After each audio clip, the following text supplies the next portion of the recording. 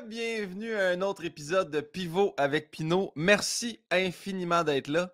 À tous les fois, je vous demande Hey, où c'est que vous nous écoutez Là, aujourd'hui, je fais juste te dire il recommence à faire beau. C'est le déconfinement. Les salles de spectacle vont réouvrir. J'ai pas le choix de vous dire que ça y est, on est rendu là. Il va y avoir la première médiatique de mon show qu'on repousse depuis deux ans. Malade mental. 8 mars à Montréal, 30 mars à Québec. Là, tu te dis, mais si je peux pas aller là, fais-toi-en pas. Si tu écoutes l'épisode en retard, guillaumepinot.com, tu as toujours accès à tous les dates de spectacle. Tu sais quoi? Je te rajoute ça aujourd'hui. On n'a pas fait faire un dessin pour rien. Si tu vas être membre du fan club, là, ça c'est malade, clac, check bien. Je te le mets là, troupeauapinot.com. Là, tu dis troupeau, c'est-tu comme péjoratif un peu? Non. Il n'y a pas de gourou, il n'y a pas de berger, il n'y a pas personne à suivre. Tu viens là si ça te tente, c'est juste du monde qui apprécie ce que je fais. Comme ça, il n'y a pas n'y a pas la négativité des médias sociaux, tu comprends? Il n'y a pas personne qui va mettre en commentaire en dessous d'une joke de c'est-tu possible de manifester pour la liberté? Il n'y a rien de ça qui se passe. Tu reçois un email, je t'envoie des niaiseries, t'aimes ça, tu le lis, t'aimes pas ça, mets ça dans. Tu vois, super simple, troupeauapino.com. Je suis très, très, très heureux que ça recommence. J'ai vraiment hâte de vous voir. Puis encore plus heureux aujourd'hui, j'ai reçu un invité, ça fait longtemps que je vais le recevoir. Et je l'admire dans le milieu de l'humour, honnêtement. Si tu ne connais pas, c'est un, c'est un chirurgien. C'est un chirurgien de l'humour. Il est précis, il est efficace, il est drôle. C'est comme un prodige. Il finit un show, il y en a un autre de prête. Il, est en train de faire un show, il y en a déjà un troisième de prête. Il est tellement bon, il est tellement drôle. Très, très heureux, mesdames et messieurs, de m'entraîner avec lui. Le seul, l'unique, Simon Gouache.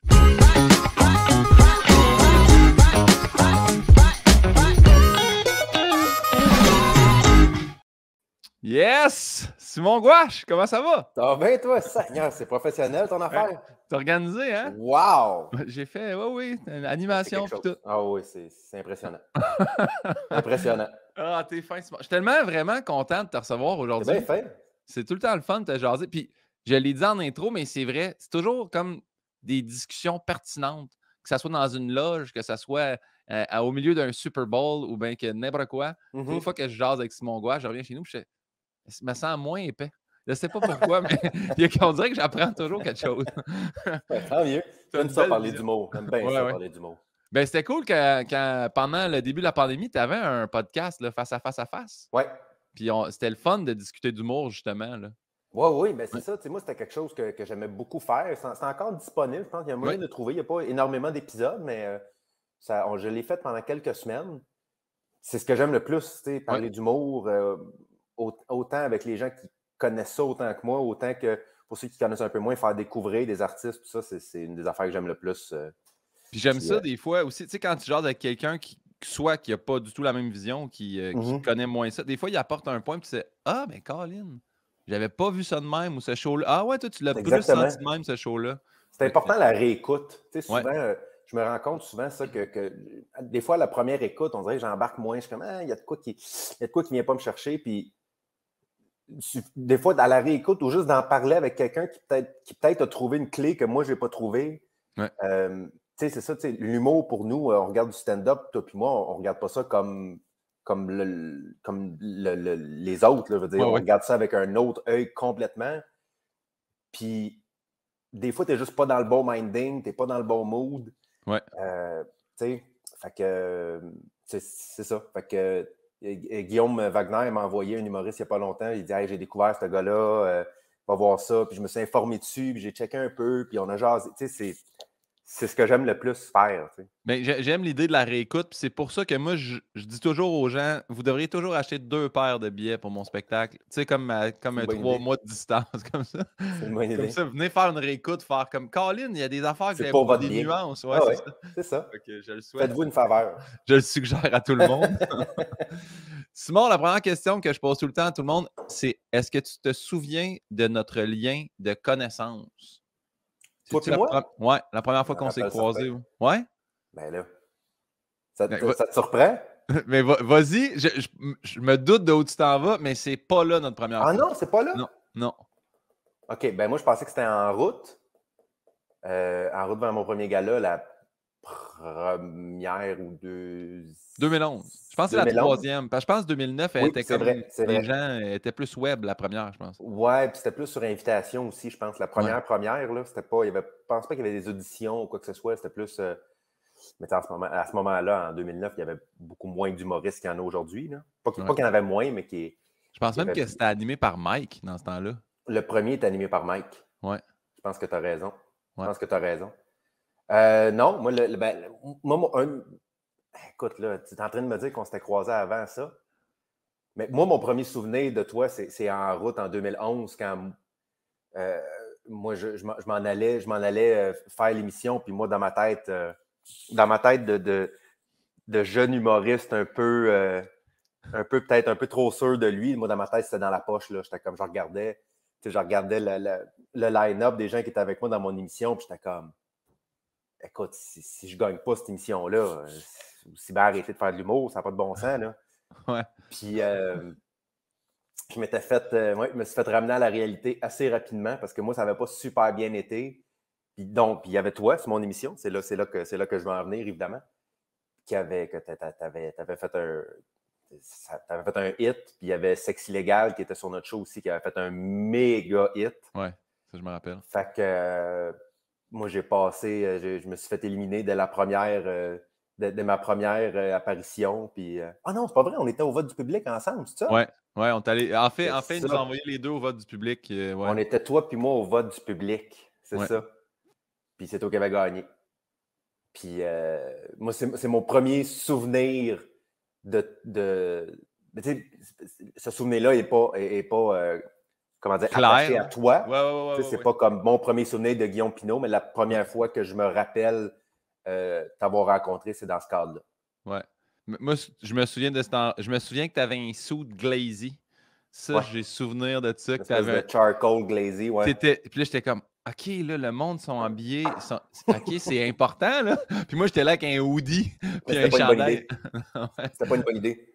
Parce que, honnêtement, moi, je suis vraiment arrivé là. Tu sais, moi, je, je venais en 2011, je venais tout juste de lâcher la pub. Moi, j'ai travaillé en pub pendant deux ans, de 2009 à 2011, comme, euh, comme concepteur publicitaire. Puis je venais, je venais, de lâcher la pub pour recommencer à faire de l'humour. Puis là, tout le monde me disait il faut que tu t'inscrives en route, c'est sûr que c'est toi qui gagne. Puis tu sais, à, ce moment-là de ma vie, j'avais une confiance en moi qui était dans le sous-sol. Tu sais, j'avais aucune fait que de recevoir ça puis d'entendre ça, ça m'a comme créé une espèce de fausse confiance en moi, une, espèce de fausse. C'était pas de l'humilité, je n'étais pas humble. J'étais arrivé là un peu avec euh, une attitude de Regarde, on, va le faire, le show, mais vous pouvez me le donner tout de suite, puis on peut régler ça. Là. Fait que je arrivé dans une espèce de saut qui, qui, qui je, jouais, jouais le, pour moi, je gagnais la coupe dès, le premier soir. Puis, ben, euh, juste ça, ça a été une belle leçon. Il y, a eu, il y a eu une belle transition de ce savoir-là parce que après que moi, euh, j'étais éliminé au vote du public, dans ma tête, je me disais, OK, Chris, j'étais une légende de l'humour. Fait que je me suis inscrit au concours de Dégely. Mm-hmm. J'étais arrivé à Dégely en me disant, Hey, moi aussi, je vois le line-up, je, vais éclater tout le monde. Et là, le petit gars de 20 ans, Sam Breton de région, que j'ai jamais vu de ma vie faire du stand-up, me pète, mon gars, mais ah solide.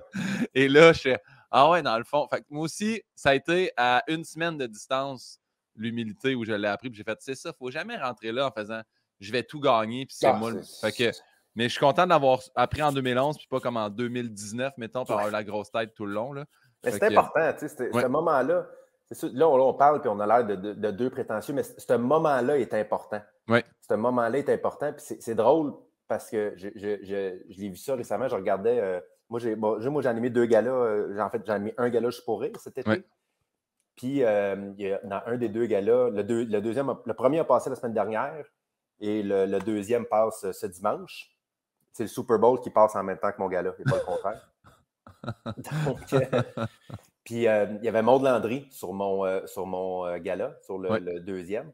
Puis, puis je l'avais présenté en disant, tu sais, dans, dans la carrière d'un humoriste, à un moment donné, tu tu te trouves bon. Tu sais, quand tu commences à faire de l'humour après quelques années, tu te dis OK, ça commence à être bon mon affaire, puis OK, puis là, ça commence à rentrer, puis le monde commence à te dire que c'est bon, puis tout ça, puis tu reçois des commentaires, puis à un moment donné, tu vois un jeune humoriste ou une jeune humoriste, puis tu fais Ah, OK, non, ça c'est bon, ça c'est vraiment, vraiment bon. Puis moi, j'avais eu ça avec Maud, tu sais. Ouais. Puis c'est un moment important dans la carrière d'un humoriste quand tu te trouves bon, puis à un moment donné, tu te fais rappeler que non, on est, a encore du chemin à faire. Fait que. Autant, autant ça a l'air prétentieux et, un peu imbu, autant que c'est important à ce moment-là. Ben, il y a ça, puis je pense aussi, c'est quelque chose que toi, tu m'as appris dans une loge sortie nulle part, mais moi, je me rappelle que quand ça a été ma fête, puis j'ai eu 30 ans, puis j'ai fait Est-ce que je suis pas rendu long? Est-ce que ça. Fait Mais tu as juste continué d'évoluer. Il n'y a rien de plus fun que vieillir en humour. Là. Puis on dirait que ça a switché mon mmh. minding aussi, cette discussion-là, genre au bistrot Sainte-Catherine. J'étais Ah, ouais, c'est vrai, c'est peut-être pas si pire que ça d'avoir 30 ans, puis de continuer à faire. Il y en a qui commencent à tu sais, Rich a commencé à 31. Mmh on parlait de ça cette semaine. Fait que tout, je pense que tout est possible. C'est pas, pas l'âge qui indique si t'es bon en humour ou non. Absolument. bref. Euh, mais non, la première fois, Simon, que je t'ai croisé, c'était la première fois de ma vie que je faisais du stand-up. OK. Euh, j'avais écrit à Junior Girardeau. Il m'a booké au Saint-Cyboire, puis ça a donné que toi, tu remplaçais Guillaume Wagner à l'animation ce soir-là. Et ça, ça a été mon premier baptême de l'humour. Puis là, je t'ai vu animer, puis j'étais comme, OK, il est bon, là. Là, il jase au monde, puis tout ça. c'est pour ça que j'étais très angoissé après ça de te voir en route, parce que j'étais comme, Chris, je l'ai vu animer, là. Puis j'étais impressionné de l'impro, mais aussi des numéros, puis de. Fait que moi, ça a été là. Puis j'ai essayé de rechercher, parce que des fois, sur Facebook, je réussis à retrouver la photo de la soirée de, mais là, j'ai pas réussi. J'aurais mm ça te la, montrer. Ben, je, me rappelle, je, me rappelle de, je, me rappelle de, cette soirée-là, malheureusement. Le, je me rappelle pas. Euh, ben, ça, j'ai pas dû maintenant Que tu dis, maintenant que tu le dis, j'ai, j'ai, une image qui me vient en tête, mais euh, OK. Ouais, ça c'était la, première fois. Je me, je me, souviens, je me souviens encore que tu expliquais aux gens, tu dis là, Guillaume n'est pas là, mais moi je suis là, tu sais. Fait que si tu m'aimes, euh, ça se peut que c'est un cercle vicieux, ça là, parce que c'est une roue qui tourne, puis ça se peut qu'il ne revienne pas, puis ça serait. Puis ça me faisait tellement rire juste que tu partes sur une chire de là, je le remplace, mais si tu t'attaches, c'est un problème. Puis ça m'a bien, bien gros marqué. OK. Bref. Alors, voici notre lien de connaissance. On part avec la première question. Quel est ton mot préféré, Simon? Mon mot préféré. Ouais. Ah, c'est pas, pas facile. Hey, c'est drôle, hein, parce que c'est un, un, questionnaire qui existe depuis plusieurs, plusieurs années. J'aurais vraiment, vraiment, vraiment pu le lire avant et me préparer. Là, je viens de réaliser que j'avais juste ça à faire. Non, mais c'est le fun spontané. C'est le fun spontané. C'est dur à dire. J'aime beaucoup, beaucoup, beaucoup la langue française, moi. Puis, tu sais, oui. dans, dans, en humour, sur scène, je ne me, force pas à, à bien parler ou, j'utilise pas un, vocabulaire que j'utiliserais pas dans la vie.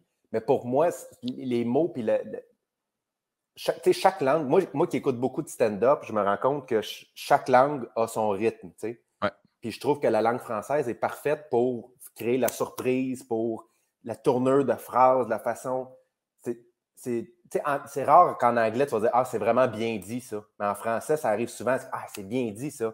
créer une image, pour moi, c'est vraiment important de bien savoir utiliser les mots parce qu'un mot peut tout changer. Euh, mon mot préféré. Mais je trouve qu'en anglais, par exemple, des fois, c'est beaucoup plus concis.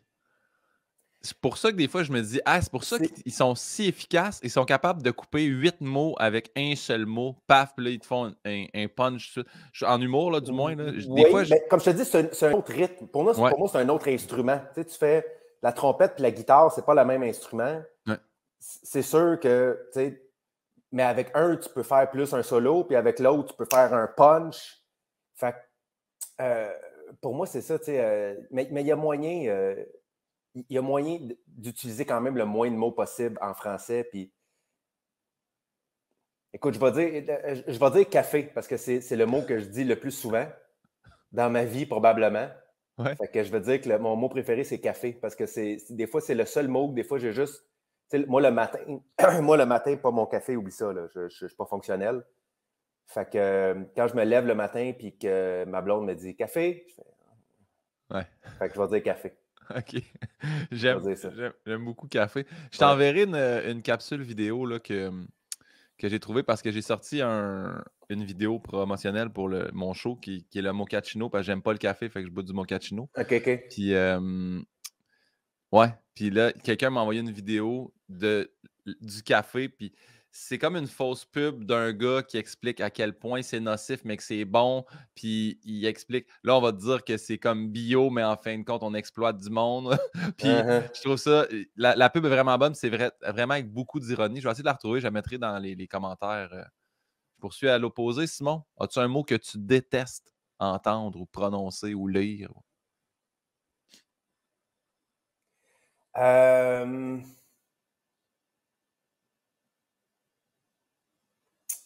Oui, euh, que j'aime pas entendre. Moi, j'ai toujours eu quelque chose avec le mot broyer. Je sais pas pourquoi. Je trouve que le, je trouve que le mot broyer a été botché. Il aurait pu trouver un meilleur mot que ça. Mais en même temps, ça dit vraiment ce que c'est. Ça broie. Euh, moi, j'aime pas, j'aime pas, je, je, gère, je tolère très mal la confrontation dans la vie. Fait que moi, quelqu'un qui envoie chier quelqu'un, là, hey, va chier, ça me. Ah, ça vient, ça, ça me. Fait que j'irai avec ça. Tu sais, fuck you, va chier, n'importe quel n'importe quel mot qui, qui envoie promener quelqu'un ou qui part une confrontation, j'ai bien de la misère avec ça. Bien de la misère avec ça. Ta gueule, moi, je pense que c'est la pire affaire. on peut s'assiner avoir des arguments, si quelqu'un dit ta gueule, je comme, je suis bloqué. Voilà, tu m'as eu, ça m'a insulté au plus haut niveau. Fait que, ouais, d'accord avec tout ça aussi. Prochaine question. À la, base, Bernard Pivot disait votre drogue favorite. Guillaume Pinot l'a changé pour votre dépendance favorite. On dirait, on dirait que je sais ça s'en va où, mais as-tu une dépendance favorite? Ma dépendance favorite. Ah, euh, ben, euh, favorite dans le sens celle que j'aime le plus ou la plus importante dans ma vie? vas-y, euh, vas-y avec les deux. Ouais. je, en fait, les deux, les deux, malheureusement, c'est vraiment plate et cliché, mais c'est l'humour. Moi, quand j'ai découvert plus le stand-up que l'humour. J'aime beaucoup euh, tout, ce qui est comédie, autant dans, les films que les séries télé. Euh, attends, je, voyais que les séries télé. Moi, je, suis un gros, gros, gros, gros fan de séries télé, euh, de partout, de tous les genres, autant comédie que horreur. mais je m'en viens en même temps de, de, moins en moins patient, puis on dirait qu'après comme 25 minutes, si je n'ai pas accroché, J'attends toujours à la fin du premier épisode. Puis là, si, pendant le premier épisode, tu ne viens pas me chercher, puis des fois, ça arrivé qu'après, à la fin du premier épisode, tu as comme un punch, t'es comme Ah, OK, d'abord. Mais euh, en fait, je vais, je vais dire, regarde, je vais, préciser encore plus. Ouais. Euh, je vais dire The Office, la, série ah. américaine. Pour une ben raison que j'ignore, cette série-là, si je suis chez nous tout seul, si je suis à l'hôtel je vais juste la mettre en background. Je l'ai écouté peut-être, sans joke, probablement 12 fois d'un bout à l'autre, mais sans vraiment l'écouter. J'ai comme, c'est un son que j'aime, j'ai besoin d'entendre ça. Ça, puis du stand-up, c'est ça que je fais jouer chez nous juste pour une musique de fond, un bruit de fond. Là. C'est, The Office, The Office américain, moi, ça fait pas longtemps, là, ça fait cinq ans que je suis avec ma blonde, je pense, deuxième année qu'on est ensemble, mmh c'était sur Netflix, elle dit T'as jamais vu ça, faut que tu écoutes ça. J'étais Ah, commence à l'écouter et là, rentre dans l'espèce de spirale de nous autres, si c'est soit sans background ou un Friends. Moi, quand je suis seul en tournée, je me mets un Friends sur mon cell, puis je me couche en entendant. Ça me réconforte. Puis quand j'ai vu le Reunion, j'ai vu, il y a plein de monde qui font ça ah dans le monde. Ils font, ça nous réconforte de savoir, tu sais c'est comme si on a une présence. Absolument. 100%. 100%. C'est apaisant, littéralement. Moi, j'en parle à tout le monde. Je me rappelle de ça aussi, qui était une discussion de loge quand tu as dit que, euh, je me rappelle pas c'était à qui, mais tu dis, j'étais content de faire découvrir Breaking Bad au monde. Tu sais, quand tu as découvert ah. une série, puis tu fais, attends, attends, là. Puis là, la personne fait, ah, si j'aime ça, puis là, ça se transmet. Moi, je viens de terminer sur Disney Dope Sick. C'est tellement bon. Puis c'est surtout un documentaire comme tournée réelle, dans le sens que c'est Michael Keaton qui joue dans le film. Puis Mais c'est l'histoire de l'Oxycontin aux États-Unis uh-huh. qui, qui, était la drogue la plus addictive, puis qui a développé des overdoses, puis que c'est contre les produits pharmaceutiques. C'est tellement intéressant, puis ça devient d'actualité parce que le dénouement se produit en 2021. Fait que, tu sais, ça part de 99 à 2021, tous les procès, toutes les façons qui ont contourné la loi, c'est vraiment intéressant. C'est huit épisodes. C'est bon, là. C'est tellement bon. Tant mieux. ça me prenait quelque chose à écouter, justement. J'invite les gens à écouter ça. Donc, c'est. Je pensais que tu allais dire café avec euh, dépendance pour ça quand je t'ai dit je savais ah! que ça allait, mais. oui, oui, oui. Non, mais, En fait, le, café est ma plus grosse dépendance de loin, loin, loin, loin, loin. Mais j'essaye fort d'en boire de moins en moins. Fait c'est clairement la, celle en dedans de moi qui est la plus, euh, la plus forte. Mais euh, c'est pas ma préférée dans le sens que, c'est comme là, quoi, après ça, je vais peut-être en prendre un. Ouais. Puis là, je suis en chaud à soir, fait que je vais en prendre un autre. Sais-tu, j'aime ça, j'en prends des décas ou non? C'est toujours caféiné. Je ne verrais pas la différence. Mais de savoir, si je sais qu'il est décaféiné, ça, ça, ça me je me sentirais pas bien. Ouais. c'est, c'est vraiment c'est, spécial. J'aime bien ça. Mm. Euh, Simon, c'est quoi le son ou le bruit que tu aimes le plus? Euh... Ah, ma fille qui rit. Ma fille qui rit, là, c'est. Euh... C'est. Des fois, ma, blonde est vraiment bonne pour la faire rire. Ironiquement, c'est moi l'humoriste dans le couple, puis ma blonde, elle trouve toujours le moyen de la faire rire. Puis des fois, quand je suis dans une autre pièce, puis je l'entends rire, là, des fois, avant, dans le bain, là, euh, quand, c'est ma blonde qui donne son bain, écoute, je les entends rire, là, puis j'entends ma fille rire, mais de, profond, là. c'est un rire juste de ben, joie, pur, de pur bonheur. C'est mon son préféré. C'est mon son préféré. Ma fille qui rit. Il n'y a rien de mieux que ça. Je comprends. Puis il y a beaucoup, il y a beaucoup de parents que je reçois au podcast qui c'est beaucoup relié à leurs enfants aussi, leur son. Mmh ah ouais, mon enfant qui rit, mon enfant qui dort, mon enfant qui. Mon enfant qui ronfle, qui est comme paisible dans son sommeil, c'est la plus belle chose au monde. Ah, c'est quelque chose. C'est dur, je comprends, je, je, comprends, je peux pas dire je comprends, que je l'ai vécu, mais je comprends votre sentiment de, de parent, je trouve ça magnifique. Simon? Euh, sinon, ben en fait, regarde, je vais, je vais, t'en faire un vite vite, là, ouais. Euh, qui n'est pas, est pas pour parents. Là. Tu sais, quand tu es en coulisses, puis que les lumières ferment, puis que tu tu entends le public juste qui baisse, là, qui, arrête de parler, là, t'entends un wouh! Ça, là, ah, ça me fait triper, ça. Ce son-là, en fait, qui n'est pas un son, dans le fond, c'est un silence, là. Ce silence-là de. Tu sens le monde, OK, là, ils se mettent dans leur chaise, puis là, ça commence, les lumières ferment, ça, c'est fantastique. Ça, oui, ça, là, je relate beaucoup. Puis effectivement, le, son du silence d'avant-spectacle, puis le message maison embarque, puis là, tu fais là, dans, dans 8 secondes, ah, j'embarque. là, ouais, c'est un des, un des bons moments. C'est un des moments que j'aime. En fait, c'est les deux moments que j'aime le plus. Puis je, l'ai dit euh, parce qu'on a fait un podcast où c'était Yann Bilodeau qui me posait des questions. Puis mmh les 8 secondes d'avant-rentrée, puis les 8 secondes de sortie, c'est mes deux moments préférés d'un show. J'aime ça, être sur scène, puis tout ça. Mais d'attendre puis que le monde soit fébrile, puis de sortir puis de les entendre heureux quitter, on dirait que c'est mes deux moments de show que j'aime le plus. Les 16 secondes des 8 du début puis de la fin, j'adore ces moments-là. Ah ouais, c'est fou. Y a-tu un son ou un bruit que tu détestes entendre? Euh, ouais, je ne suis, pas un gros fan euh, des gens qui parlent pendant un spectacle. Euh, parce que moi, je ne moi, je, les gère pas vraiment. Moi, pour, pour, que je sorte de mon texte ou que je sorte de ma, de ma zone de stand-up pour dire à quelqu'un arrête de parler, il faut que ça soit vraiment dérangeant. Ouais. Fait qu'à chaque fois que j'entends parler ou que j'entends quelque chose, je, je, vais essayer de. Moi, je fais juste continuer puis l'ignorer. Puis, euh, sinon, un son que j'ai. Ah. Bon, quand j'étais jeune, OK? Ouais. Mon père, qui est une personne absolument extraordinaire que j'adore. Mais quand, quand je faisais quelque chose qui n'avait pas d'allure ou que, que, que mettons, que, que j'oubliais quelque chose, il faisait toujours Yo! Faisait tout à ça. Genre, mettons, Simon, Yo! Et encore aujourd'hui, là, si mon père fait ça, je deviens là, ça, ça, ça me glace le sang. il l'a fait il n'y a pas longtemps. Il était, on, était, j'étais chez eux, puis euh, j'avais, je pense, je m'étais fait chauffer quelque chose dans le micro-ondes, puis je l'avais oublié. Puis là, mon père a fait Simon, yo oh! ah, écoute, je suis. Pavlov. Ah, Pavlov, Pavlov. Ce son-là, là. Ouais. Ce son-là, écoute, je le, je le fais, j'ai des frissons en ce moment de le faire moi-même, de, de m'entendre le faire. Je, je, ça, ça, ça, va me rester toute ma vie. Je comprends. oui, oui, oui. Puis des affaires, surtout quand ça vient avec un espèce de passé où c'est plus comme une critique, on dirait que c'est quand ça revient. tu Mhm. et qu'est-ce qui. Ben, c'est Ouais, parce que ouais. c'est synonyme d'erreur, tu sais, c'est synonyme de. Ah, Je suis dans le, pas, pas je suis dans le trouble, tu sais, j'ai jamais été. c'est- comme je te dis, ça n'a jamais été méchant, ça n'a jamais.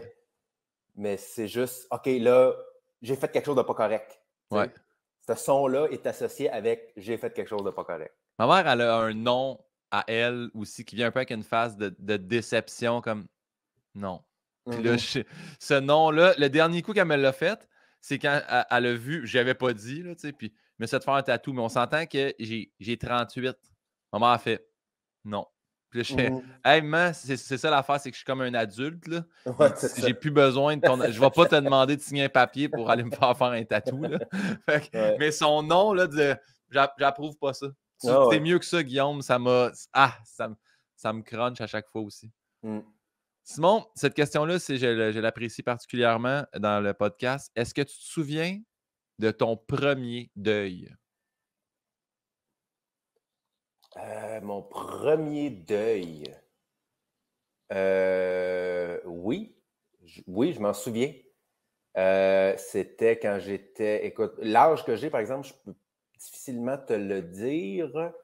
Je dois avoir peut-être euh, 10 ou 11 ans. Euh, notre chien de la famille est, mort. Puis je me rappelle, c'est la première fois là, où j'étais où j'ai comme compris c'était quoi vraiment être, en deuil puis être en peine, avoir de la peine, de la vraie, de, m'ennuyer de quelque chose, de quelqu'un. Euh, je- j'ai pas beaucoup de souvenirs, moi, de mon enfance. C'est assez flou. Mais je me rappelle être dans mon lit et pleurer la mort de mon chien. Euh, ça, je me rappelle. Oui, je me rappelle Mais- très bien. Puis t'es un. T'es un euh, t'affectionnes particulièrement les animaux, là, Ah, parce moi, que, tu T'as encore un chien? Non, Non. Non, j'avais, j'avais un chien. J'avais un chien euh, quand ma blonde est tombée enceinte. euh, on a, on s'est dit que c'était peut-être pas le meilleur, euh, le meilleur environnement pour et le chien et le bébé et tout. Ouais. Donc, euh, on lui a trouvé une famille où elle est euh, absolument heureuse, comblée. Euh, c'est une famille plus euh, mieux adaptée pour, euh, pour ses besoins que, que nous ici avec un bébé. Mais c'est sûr qu'un jour j'ai un chien. C'est Ouais. sans, sans l'ombre d'un doute.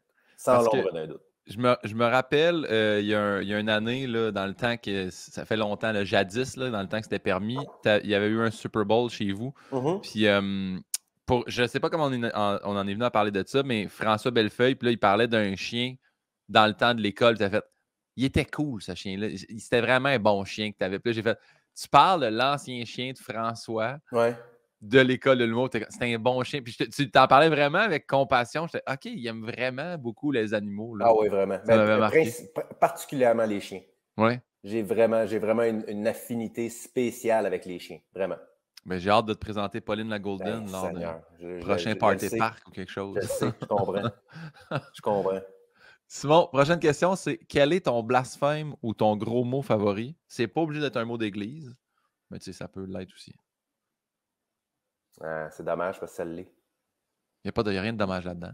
Je- je- moi, je ne sac pas énormément dans la vie. J'utilise quand même, sais, je sac quand même euh, pas, pas, pas à outrance, mais un sacrament, là, je pense que si, quand je dis sacrament, c'est, c'est jamais pour niaiser.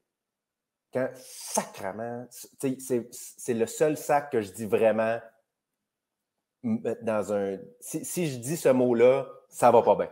Non. Ça va pas bien. Il sort jamais positif dans le Il fond. sort jamais positif. Jamais, jamais, jamais, jamais, jamais. Jamais, jamais, jamais. Tu l'utilises-tu dans, dans tes shows? Non. Je Non? pense pas. Je pense pas que j'ai.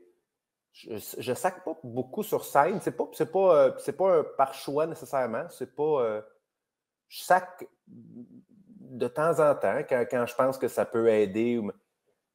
Le, le drôle va jamais devenir de ça. Je pense pas que j'ai déjà dit ce mot-là sur scène. Je pense pas. Parfait. Je pense pas. Simon, demain matin, on est pris un nouveau billet de banque. C'est toi qui as la responsabilité de décider qui est-ce qu'on met dessus. Quel homme ou quelle femme tu mets sur ce nouveau billet-là? Sur le nouveau billet? Ouais. Ah, ouais. C'est une bonne question. Euh, qui qu'on met sur le nouveau billet? Euh... Wow!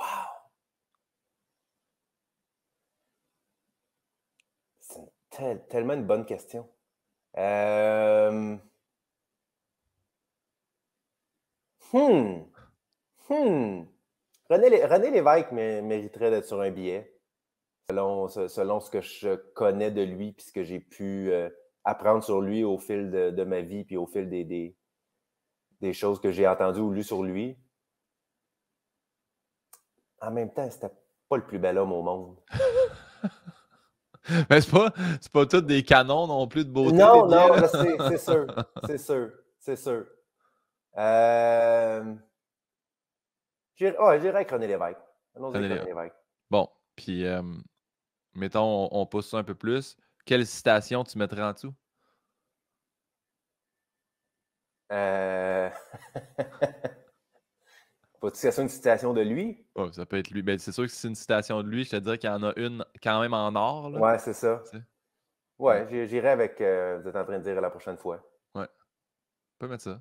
Quelle valeur de billet? Je pousse, la, je pousse la question trop loin, là, mais. Quelle valeur de billet? Euh, 50, 100. Je m'en ai du 2 piastres, moi. Ouais. C'était le fun, le 2 piastres. Je ramènerais le 2 piastres. 2 piastres en papier. 2 piastres en papier. Bonne idée. Très bonne idée. C'est même pas tout le monde qui a vu ça, mais le 2 piastres en papier, il était comme mm. bronze. Il était, tu sais, le, bronze. Une piastre, moi, euh, quand je suis aux États-Unis puis j'ai des 1 piastre, on dirait que c'est, c'est le fun à typer. C'est plus facile à typer ouais. avec des 1 piastre. Tu sais, quand tu vas dans le sud, mettons, puis tu as comme un, comme un paquet de 1 piastre, puis tu les distribues sais, moi, j'aime ça quand même typer, tu sais, quand je vais dans des hôtels, ça route, tout ça, puis avec une, avec un, une pièce, c'est bizarre, tu donnes quand même une pièce, on dirait que tu vas jouer à l'arcade ou on en fait la même, c'est weird. J'avoue que des billets. Ça prendrait des billets d'une pièce. Ça prendrait des billets, d'une pièce. Des billets, ça donne l'impression. Je sais pas pourquoi, mais tu peux avoir une pile de 20 une pièce, tu as l'impression d'être super riche, mais si tu as du screening pour 20 pièces, tu comme. Ah, il y a quelque chose qui qui fait c'est moins, c'est moins glorieux? Je, comprends très bien. Puis c'est vrai aussi qu'une pièce donnée en, espèce de métal, c'était comme mal. En papier, c'est moins pire. Puis des fois, tu peux donner trois pièces, puis il se retourne, puis tandis tu donnes trois pièces en métal, il le voit tout de suite. Tandis que là, il va checker les billets, puis tu fais. Moi, je sais que je. là, ça s'appellerait des René, tu sais. Ouais, des petits René. Donne-moi un René. Donne-moi deux René, là. Puis... Deux René. tu, sors ta, palette. Deux, une pièce. Ouais. fin. J'adore. T'as-tu typé le, le, le, gars de la réception? Oh, j'ai donné René? Ouais. Tu sais, ça marche. En, tout cas, en, tout cas, j'espère. en tout cas, à date, je vois pas de faille.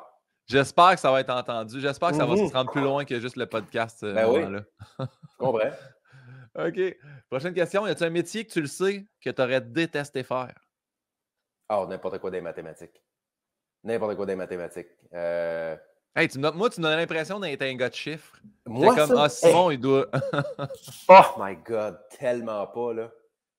Euh, écoute, moi, quand, je vais chez ma comptable, puis qu'elle m'explique les, les ci, puis les ça, puis les, les, retours de ci, là, écoute, je, euh, tête me cogne.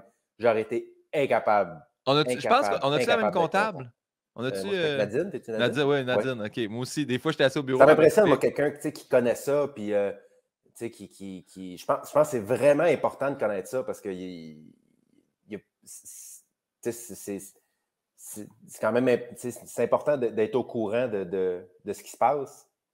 Mais euh, être comptable, je, je, je, serais incapable de faire ça. Incapable. Moi aussi. Puis Absolument incapable. Elle m'explique, puis elle me sort des papiers, puis elle me redemande ah, un Puis je comprends toujours. Puis des fois, je fais oui, puis je comprends pas, je me dis, anyway, elle, elle, le fait comme il faut. Mais, ah, tu sais, ben je, je, le dis ici à huis clos en espérant qu'elle écoute jamais l'épisode, mais elle pourrait me fourrer 9000$, je le saurais jamais. Je suis comme, ah, oui, c'est ça les infos cette année? oui. Sans l'ombre d'un doute. Elle me dirait, fais-moi là en deux chèques, un personnel, un au gouvernement. Je serais, oui, ben oui, je comprends. Non, tu vas t'arranger avec le reste. Ah, complètement, complètement. complètement. OK. Euh, si la réincarnation existe, oui. en quoi tu aimerais revenir? Hmm. On, parle, on parle autre chose qu'être humain, tu veux dire? Hmm. Non, il euh, n'y a pas de. Y a pas de. Y a pas de loi à ça. Il n'y a, pas de loi. Y a juste. Y a juste, tu peux pas revenir l'impression. Tu, tu peux pas revenir en quelqu'un qui existe, je pense. OK. Tu sais, tu pourrais pas me dire, ah, moi, j'aimerais ça revenir comme Louis-José. Oui, mais il existe. Mais tu peux revenir, mettons, exemple que je te donne, c'est. Je peux être le fils de Louis-José? Tu pourrais être le fils de Louis-José. OK, je voudrais, je voudrais euh, être J'ai à dire que c'est hypothétique. Là, tout le monde, c'est pas un enfant qu'on ne connaît pas. Il n'y a pas de fils. Je veux juste m'assurer que ça ne ça revire, pas dans showbiz.net. Non, mais ah, Gabrielle Fontaine avait dit, elle, elle est actrice, elle a dit, je reviendrai en athlète. J'ai fait Ah, quelle bonne idée. Ça m'avait vraiment surpris. Je n'avais jamais ah, pensé. C'est une bonne idée, ça. C'est vrai que c'est une très, très bonne idée. C'est une très, très bonne idée. Mais j'allais dire, euh, j'allais dire en européen, on dirait. Ouais. On dirait que l'Europe, mon, grand-père est français, était français. Euh, il y, a ce côté de moi, là, il va falloir que. moi, je suis allé une ou deux fois en France. Un jour, il va falloir que je prenne vraiment le temps d'aller visiter ma famille en France, puis prendre le temps parce que je, je sens que c'est en dedans de moi puis c'est quelque chose que j'ai besoin d'explorer. Fait que je pense que. Je pense, je, pense que si, si, je, si je voulais. Euh, si j'avais à décider dans quel pays je me réincarne, j'irais avec l'Angleterre, la France, l'Espagne, tout ça, j'irais là. Est-ce que, est que tu, tu euh, convoites un peu le, rêve de faire de l'humour en France? Oui et non, dans le sens que tu n'es pas la première personne qui me le demande. Puis à chaque fois, je dis, moi, si, un jour je vais en France pour faire de l'humour, c'est avec un billet aller, pas billet de retour. Tu comprends? Je peux pas, je peux, je peux pas faire. On va aller voir pendant trois mois, voir si ça marche. Tu comprends? en ce moment, au Québec, j'ai tellement pas l'impression que je vais arriver au bout de ce que j'ai envie de faire ici que je ne vois pas pourquoi j'irais commencer autre chose ailleurs, parce que moi, c'est ça, je ne peux pas. Tu sais, euh, je respecte beaucoup les humoristes, maintenant qui vont faire des shows en anglais de temps en temps. Des fois, pendant l'été, c'est bien populaire avec Just for Laugh, euh, Juste pour rire, tout ça. Moi, personnellement, quand le monde me dit Tu ferais-tu un show en anglais Je suis comme. Un show en anglais pour faire un show en anglais pour le trip. Pour moi, l'humour, c'est pas un trip. Tu comprends? C'est pas quelque chose que, hey, c'est le fun quand c'est le fun, mais pour moi, c'est c'est tellement. Ce qui est le fun, c'est l'évolution de l'art, l'évolution de ton humour, l'évolution du spectacle, l'évolution. Pour moi, j'ai tellement de plaisir dans la construction d'un show que juste aller faire mes jokes dans une autre langue un soir, juste pour. Je vois, Moi, ça ne vient pas me chercher. C'est la même chose pour la France, dans le sens que je dirais pas non, là, tu m'invites à un. Tu m'invites à un, festival euh, euh, en France, en Belgique, en Suisse, peu importe j'y réfléchirais. Si, l'opportunité est bonne, puis en plus d'aller en Europe, tant mieux. Mais moi, si un jour je le fais, c'est un, parce que j'ai l'impression que j'ai plus rien à faire ici, ce que je ne vois pas arriver un jour. Puis deux, si je le fais, c'est avec un billet d'aller. Il y a pas de. a pas de. On va essayer un an puis on va voir ce que ça donne. Ouais. Tu le fais ou tu le fais pas? Bonne réponse. J'aime ça. J'aime toute la vision de ça. Mais j'aime l'idée aussi de faire avant de faire le tour du Québec, parce que justement, tu es, je le disais au début aussi, mais prolifique dans le sens que tu es capable d'écrire un autre show, puis tu fais Non, j'ai d'autres choses à vous présenter. Non, j'ai d'autres choses que j'ai perfectionnées. Donc, tu es en train de le faire, là, si je me gêne ben Oui, j'ai commencé, euh, j'ai commencé avant hier. J'ai fait mon premier, premier euh, pré-rodage, si tu veux, là, ou même, je dirais même pré-pré-pré-rodage. Où, euh, moi, c'est comme ça que je commence un nouveau spectacle. C'est que pendant, pendant des semaines, des mois, des années, je pense à des affaires, je réfléchis à des thèmes, à des sujets.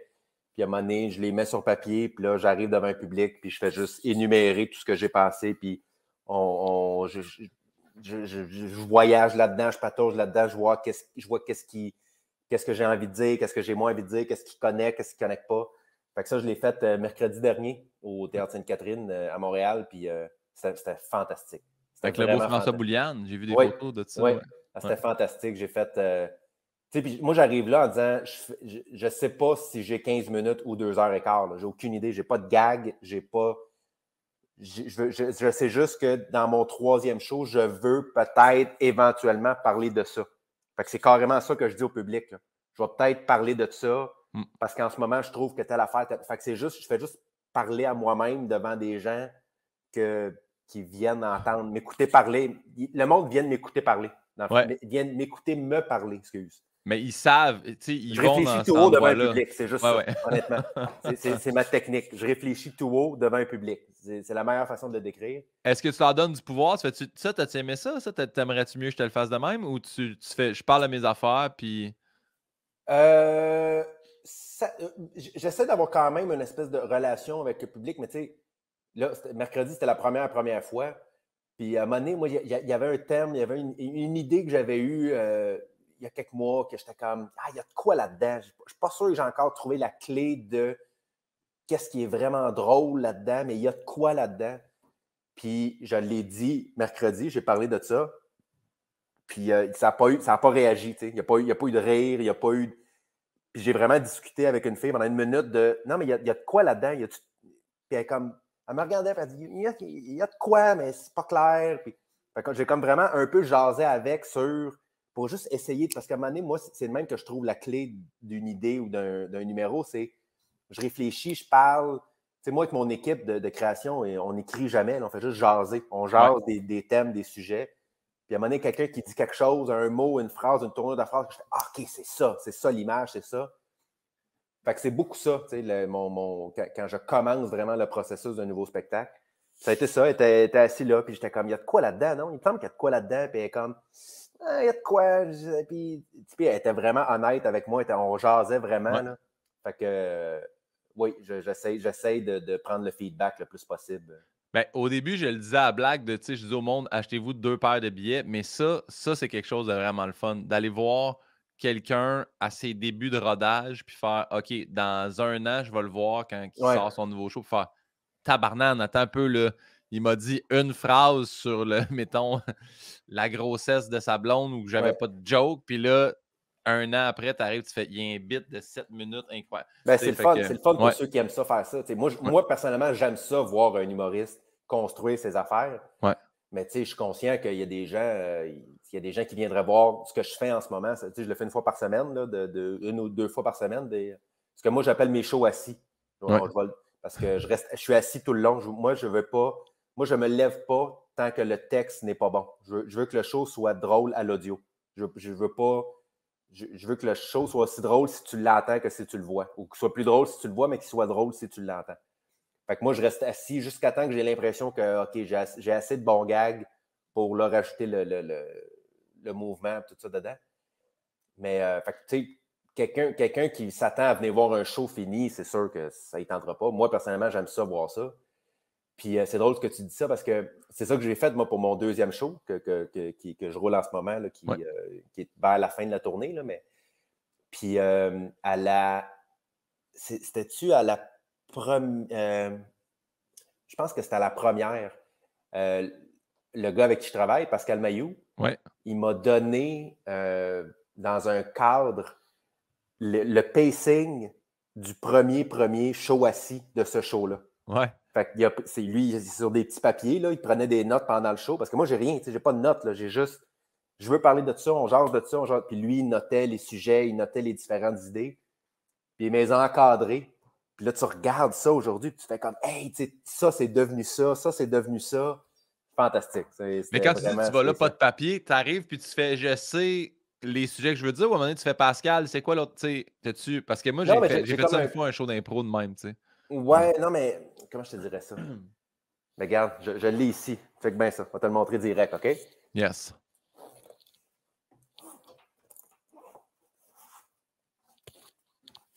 Fait que moi, j'avais amené ça sur scène, OK? OK, c'est un, pad avec ce que tu veux, ouais. Ouais, c'est ça. Fait que tu sais, je commence avec. Euh, euh, je dis merci de me faire confiance parce que je trouve que les gens qui viennent voir un show d'humour, ils font vraiment confiance à l'humoriste, surtout quand il n'y a pas de quand il n'y a pas de critique, euh, il a pas. Puis là, j'avais juste ça. Je, je, trouve juste que les gens qui viennent voir un show d'humour, c'est une belle marque de confiance qu'ils ont. Puis là, en, disant ça, j'ai commencé à parler du fait qu'en plus, il y a des gens qui viennent voir des shows d'humour qui n'ont même pas envie d'être là. C'est quelque chose. Après ça, je me suis mis à parler du fait que tu vu qu'à. Parce que moi, je ne consomme plus rien sans m'informer d'avance. Je ne regarde plus une série ou un film ou un resto puis après ça, je me suis mis à parler des blind dates. Dans le temps, non seulement on allait voir des films sans, avoir vu la critique. On rencontrait du monde sans avoir vu leurs photos. C'est quelque chose. C'était juste ça.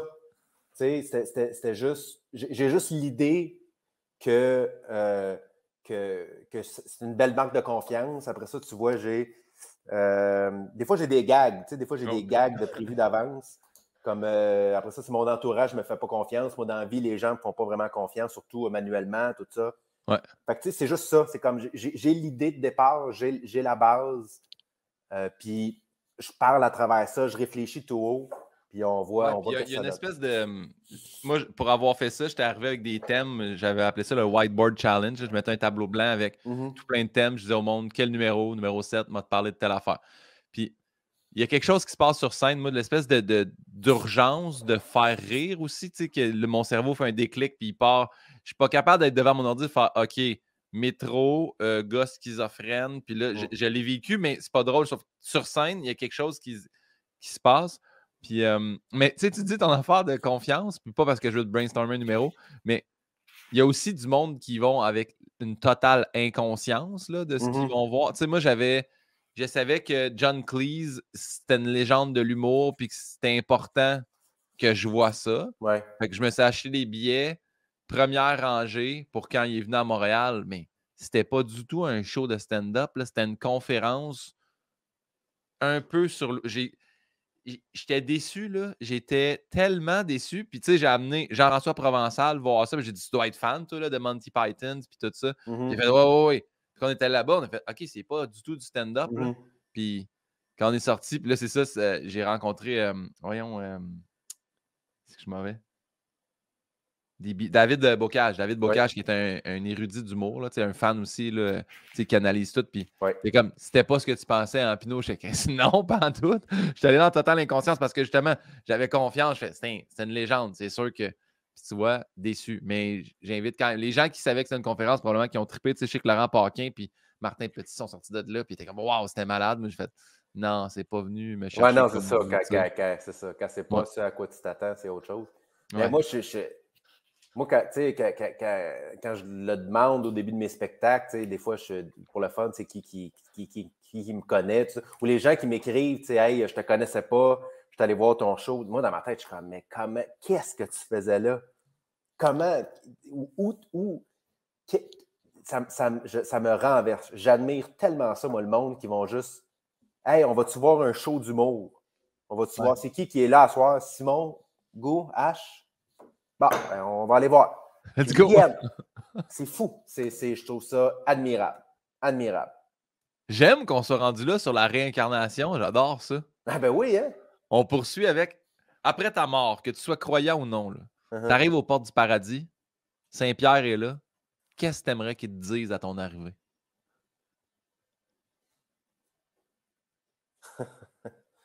euh... Stand by 15? Ah ouais, hein?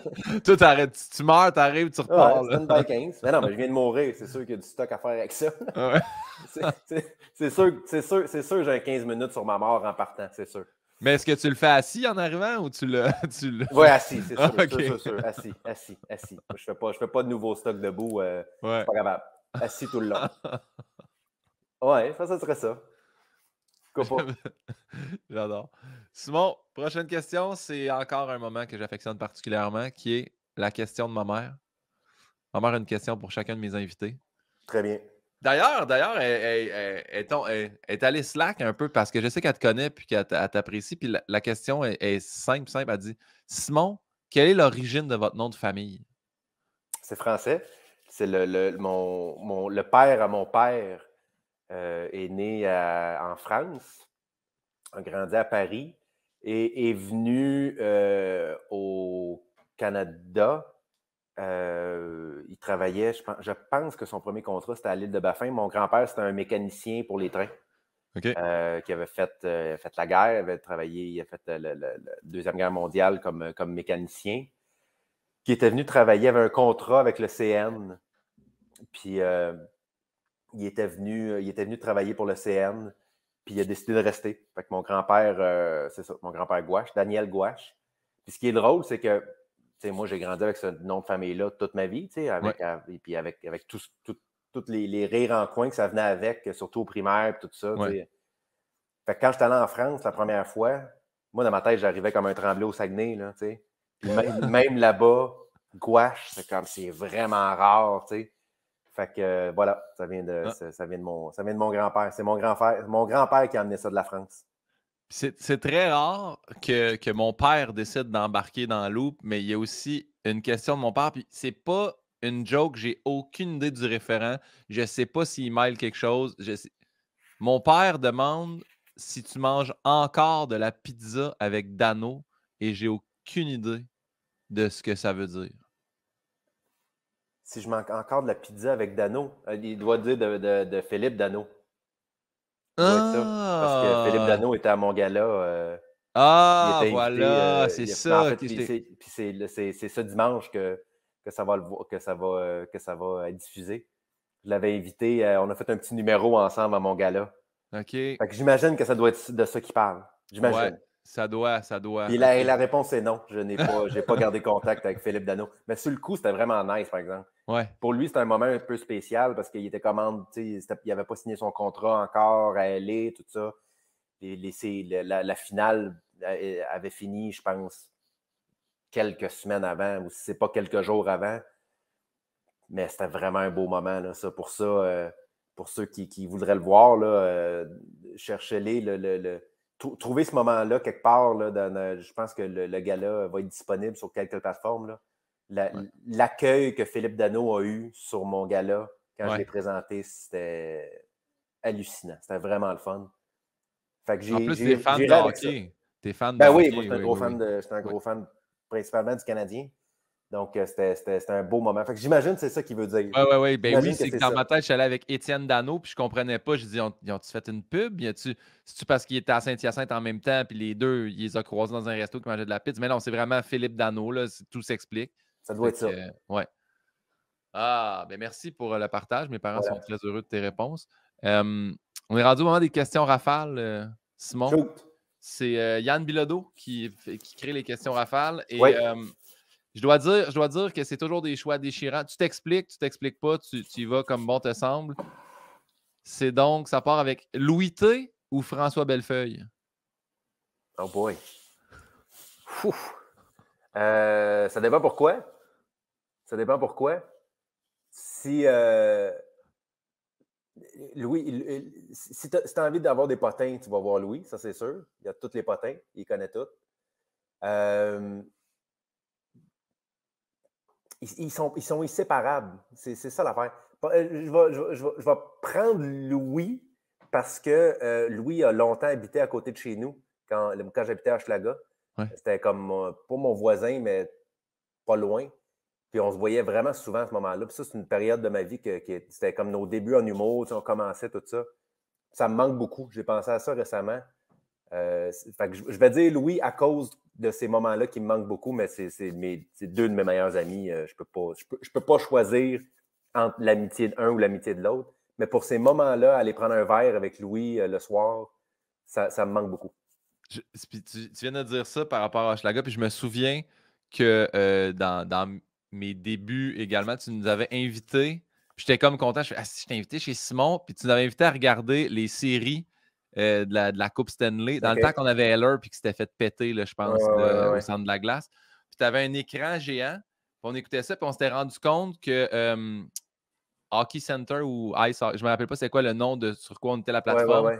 mais on, était décalé de genre deux secondes. on avait le temps d'entendre le monde crier dans la rue ou de recevoir nos notifications de téléphone. Mm-hmm. Fait que là, on entendait crier et on se disait que là, ça va scorer dans comme quatre secondes. Ouais, je m'en rappelle. Ça, je me rappelle qu'on s'était tous mis en.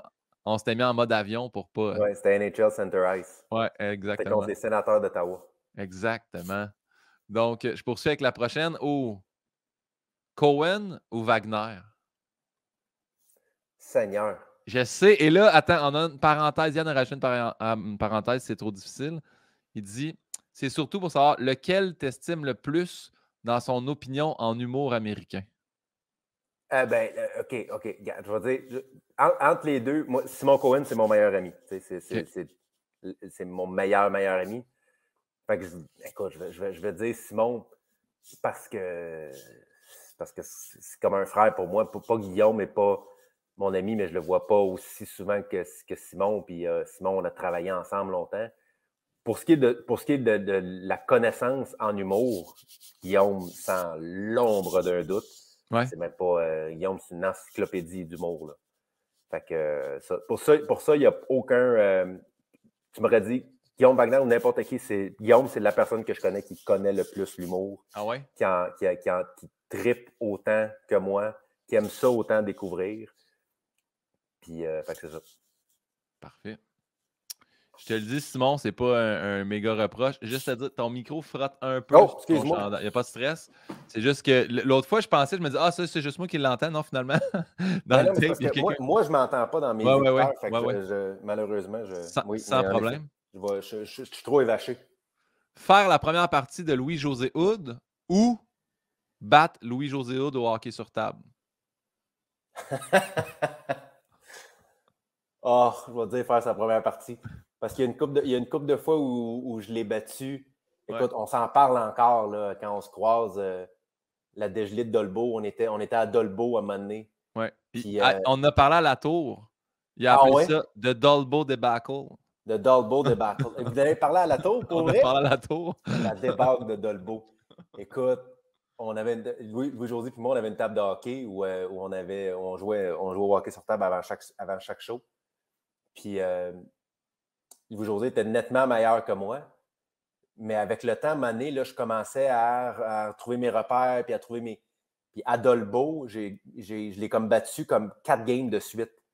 Mais la dernière game, elle s'est finie à 8 heures moins 6. Le show est à 8. Là. Et écoute, je me rappelle, je, me rappelle de lui qui sort après le show, puis comme ça n'a pas bien été. Ça n'a pas bien été j'étais pas là, j'étais pas là. tu m'as battu, puis j'étais. ce moment-là, autant, autant c'était un beau souvenir maintenant. Sur le coup, j'étais pas content. Sur le coup, j'étais pas fier de moi. Fait que. fait que je, vais, je vais y aller avec faire sa première partie. J'adore. Euh, je sais pas si je vais le dire comme il faut. Sébastien Maniscalco, Maniscalco, ou Mark Maron? Oh boy.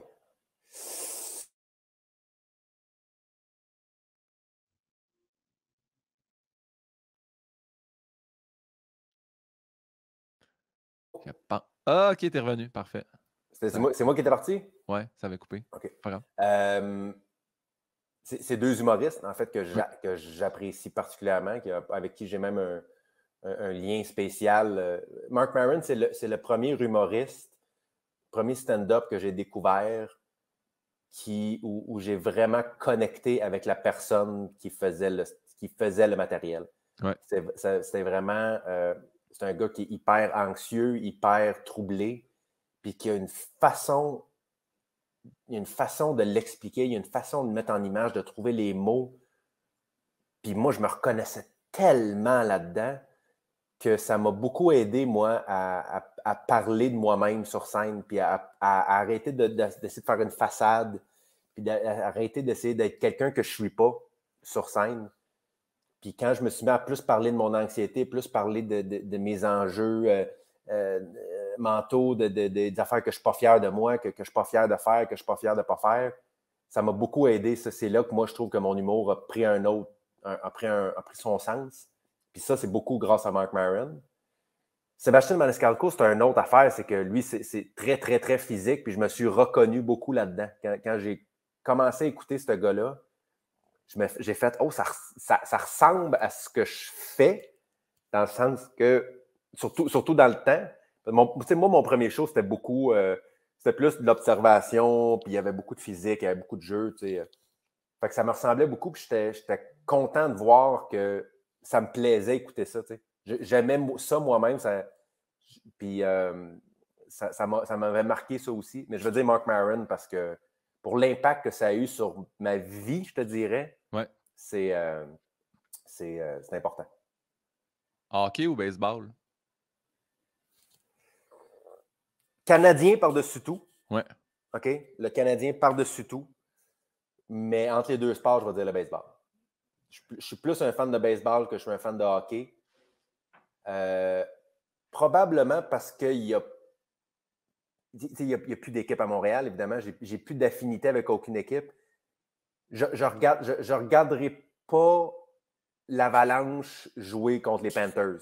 Mais je vais regarder les Rockies jouer contre les Marlins. Tu comprends? Ouais. Je vais le faire, ça. Fait que dans, ce cas-là, je vais te dire que c'est le baseball parce que c'est un sport que, que, entre les deux, c'est le seul que je pratique. J'ai joué au hockey pendant quelques années, mais euh, moi, je joue encore à balle euh, tout l'été. Fait que je vais dire le baseball. Très content de ça parce que ça, suivait la prochaine question avec Pedro Martinez ou Vladimir Guerrero, père? Euh, j'ai pas beaucoup de souvenirs de Pedro. J'ai des souvenirs très clairs de, Vlad. Euh, je, vais, je vais dire Vlad juste parce. Écoute, c'était Vlad, Vlad était là quand, quand j'ai comme plus commencé à comprendre le sport. Moi, j'allais, j'allais au baseball. Moi, j'ai grandi à côté du stade. J'ai vu des matchs des expos, j'en ai vu. Je peux pas te mettre un chiffre dessus. Mon grand-père adorait le baseball. On est allé souvent. Puis je me rappelle, il, y a, un, jeu célèbre de Vladimir Guerrero où euh, le, frappeur frappe un, simple au champ droit. Vladimir Guerrero joue au champ droit. Puis Vladimir l'attrape, puis il, il la lance au marbre, là. Mais écoute, moi j'étais là, j'ai vu ça live. son relais au marbre, c'était le moment sportif le plus hallucinant que j'ai vu de ma vie. Fait que je vais y aller avec ça juste pour ce moment-là. Son, ça, strike au marbre du champ. il, écoute, il est quasiment collé sa, sa, clôture. C'était hallucinant. Hallucinant. Un bon bras. Ouais. Ben, on y va avec son fils. Pedro avait du flair, par exemple. Hein. Pedro, il avait. Mais il y avait plus.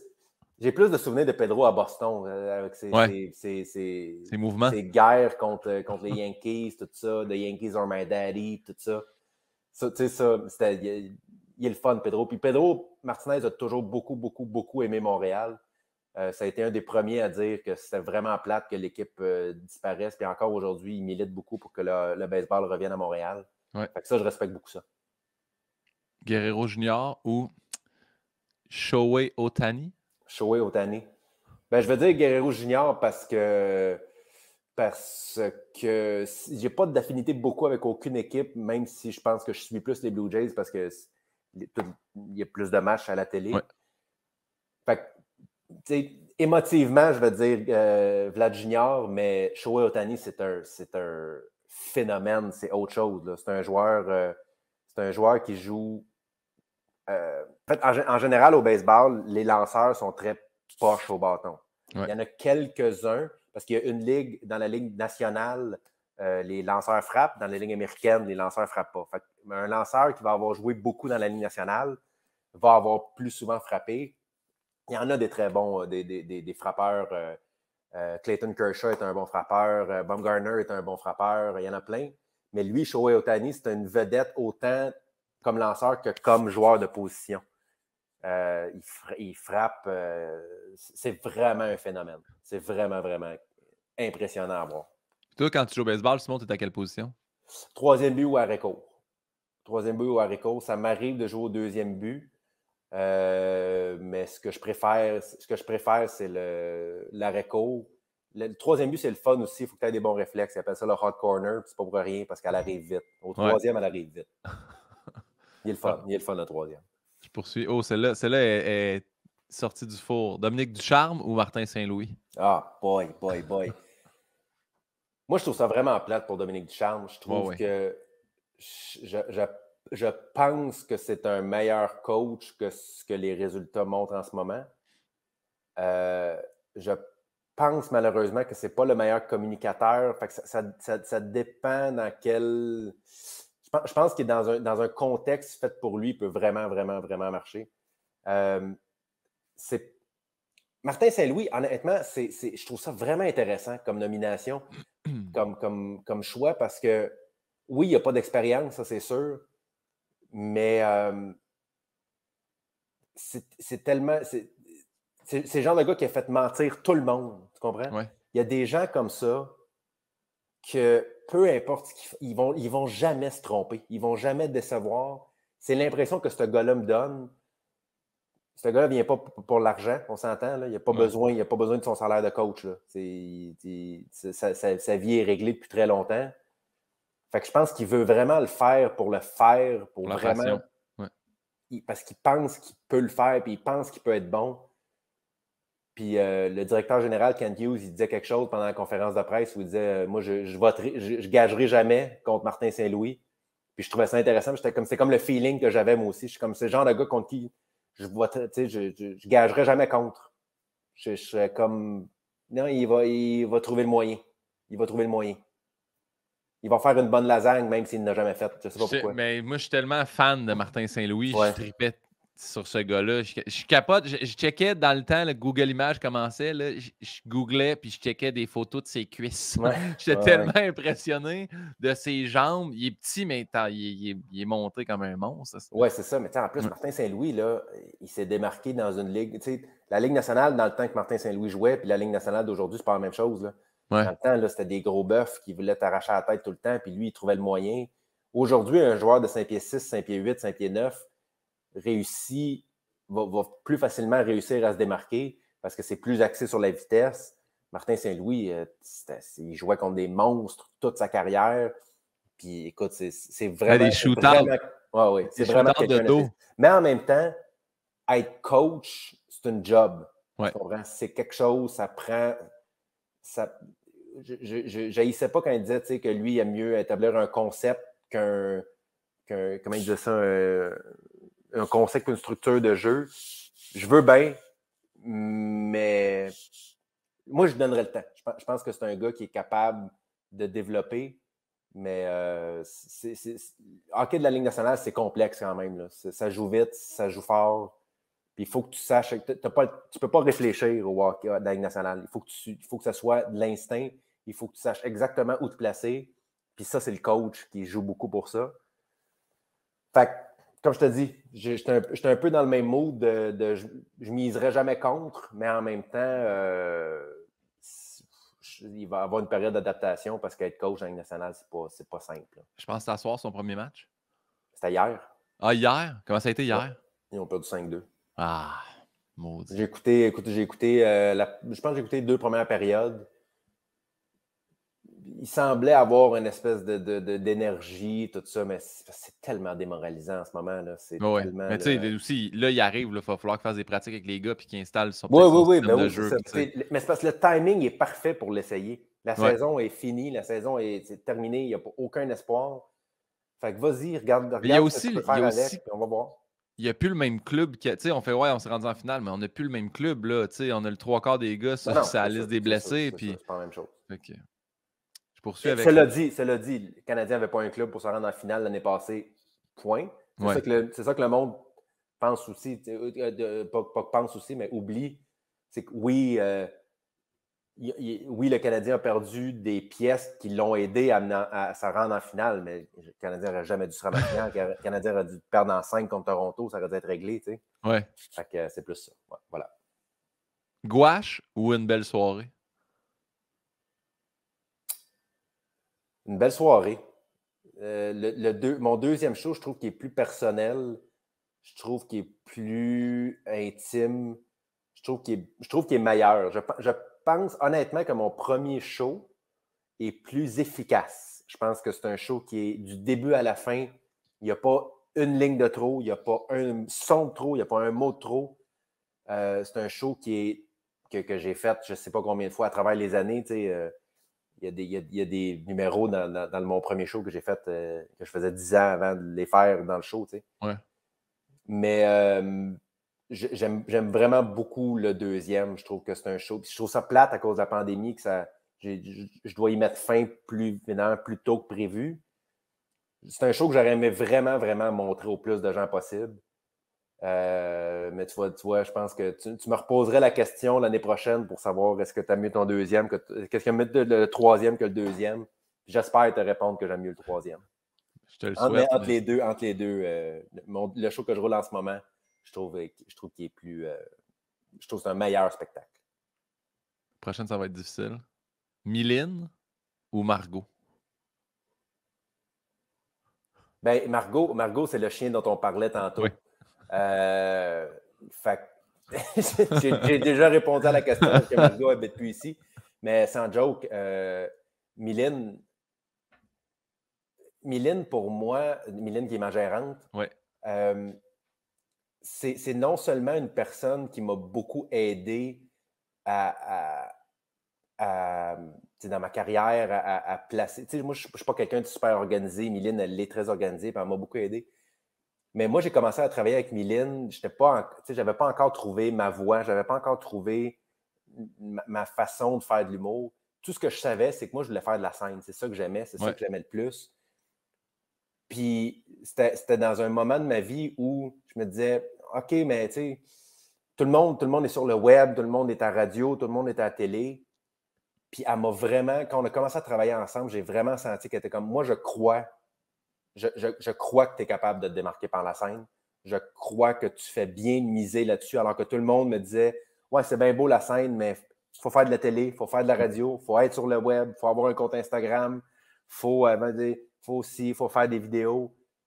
Puis oui, elle m'a beaucoup aidé à, explorer d'autres facettes de, mon humour, d'autres facettes de, ma carrière. Euh, c'est elle qui m'a poussé à avoir un compte Instagram que j'ai aujourd'hui. Mais Mylène, elle a toujours, toujours respecté, un, ce que je veux, ce que j'aime, puis quand, ma carrière commençait à. je, me, trouvais bon sur scène, je trouvais que j'étais que c'était ma place, puis que ça. Mais ça ne levait pas. Ça, elle m'a toujours appuyé dans continue à faire ça. C'est là-dedans que tu es bon, puis ça va marcher. Puis cette confiance-là, moi, me, me, suit encore aujourd'hui. Euh, on, a, on, a, moi, je, lui dois énormément à cette fille-là. Énormément. Ben, on salue Mylène. Ben oui, je comprends. La prochaine, elle va être tough, Simon. Vas-y. Ils sont pas faciles à date. T'en as pas une de facile. chanter, chanter Baby Shark à ta fille ou faire un show virtuel? oh, Seigneur! OK. c'est la plus facile que tu m'as dit. Euh, chanter Baby Shark à ma fille, c'est sûr, parce que là, en plus, elle danse. Quand tu chantes Baby Shark, elle fait ça de même. fait que ça, c'est la chose la plus cute au monde. Les, les shows, euh, les shows virtuels, honnêtement, là, je, je, je, pensais vraiment détester ça. Ouais. Puis c'est vraiment pas si pire que ça. Ouais. C'est vraiment pas si pire que ça. Euh, on en est revenu, là. J'aime mieux, mieux être devant un public, devant une salle. Là. Mais euh, c'est vrai, j'ai vraiment moins. J'aime vraiment plus ça que je pensais. Vraiment. Ouais, mais je, suis d'accord avec toi. Moi aussi, je me disais, ah, ça serait peut-être pas ma chose préférée, mais je me suis rendu compte que des fois, faire du char, mettons 4 heures pour aller faire un corpo pour une compagnie, quand je peux le faire sur mon ordi, tabarouette, on dirait que j'ai comme pogné un. J'aime ça. Ah, c'est terminé. J'aime encore. J'aime encore mieux faire le deux heures de route, même si c'est euh, si, euh, juste virtuel, même si c'est devant personne. J'ai besoin, moi, de. J'aurais bien de la misère, moi, à faire un show dans, mon, dans ma maison ici. Là. Ah, mais ça ne me dérange pas de le faire en studio. Tu sais, le studio est, à, 15 minutes de chez nous. Fait que ça ne me dérange pas d'aller au ah, studio à Laval. mais dans le sens que, quand je me coupe un 4 heures de char pour faire 45 minutes de blague, j'adore cette facilité. Ah, tu vois, moi, j'aime ça la route. J'ai besoin de ce moment-là où on arrive à la place ou avec, avec Pat, mon, mon, euh, mon DT, mon sandman. J'aime ce moment-là où je prends mon sac dans la valise. J'ai besoin de ce moment-là, moi, pour, pour, vraiment me mettre dedans. Euh, J'en ai besoin. Fait que même euh, un show virtuel, j'ai aucun problème, mais ça me prend.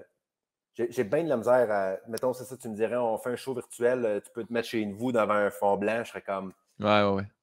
Je vais, je vais aller chez le voisin faire le fond blanc. Tu comprends? Je peux pas juste. Ça, ça me prend un décorum, ça me prend, ça me prend un mouvement. Je comprends dernière question des rafales. Vas-y. Faire des pubs pour ton show ou pour Hydro-Québec? Oh, Hydro-Québec, Seigneur. Pas. Euh, je, moi, je, suis incapable de faire de la promo pour moi-même. Je ne sais pas si c'est mon syndrome d'imposteur ou quoi que ce soit. Euh, j'ai bien de la misère. Je me sens, je me sens, me sens pas bien à, essayer de me vanter ou quoi que ce soit. Puis avec Hydro-Québec, euh, c'était du pur plaisir, c'était de la création pure. Puis, euh, fait que je vais y aller, euh, je vais y aller avec faire de la pub pour quoi que ce soit d'autre que moi, en fait. Mais, pour n'importe quoi sauf moi. Les pubs d'Hydro-Québec sont, très drôles, mais j'invite quand même les gens à voir la, beauté de, la dernière pub que tu as fait. En tout cas, du moins, la dernière que j'ai vue, avec, qui finit avec l'affiche, c'est magnifique. Et là, ça, j'étais bien fier de ça, par exemple. Ça, c'était le fun. On met toujours un choix qui n'a pas de bon sens où ça me rappelle toujours que je pense que Yann consomme en secret et qu'il ne me le dit pas. Mais la question est soit que dès qu'il y a un nouveau jeu télévisé, peu importe la chaîne, peu importe le jeu, tu dois absolument aller y participer. Ou soit que chaque fois que tu es pris dans le trafic, les gens dans les autos autour essaient d'avoir ton attention pour que tu leur racontes une joke.